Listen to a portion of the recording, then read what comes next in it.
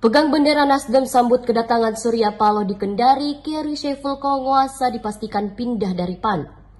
Adanya isu akan hengkang dari Partai PAN ke Partai Demokrat terkuak setelah Kerry Ketua PAN Konawe yang juga sebagai Bupati Konawe dipastikan pindah setelah membawa kader dan simpatisan PAN sebanyak 1.500 orang untuk menyambut kedatangan Ketua Umum Partai Demokrat Surya Dharma Paloh bersama rombongan saat berkunjung ke Kendari pada hari Jumat 23 September 2022.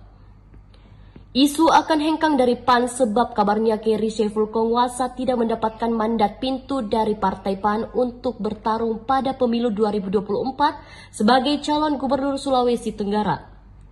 KSK membuktikan pengaruh kepada Surya Paloh bersama dengan pengurus pusat Nasdem bahwa percaya dia punya Hans terpilih sebagai gubernur Sultra periode 2024 hingga 2029 mendatang. Dari Kendari, Ardian 55 TV melaporkan.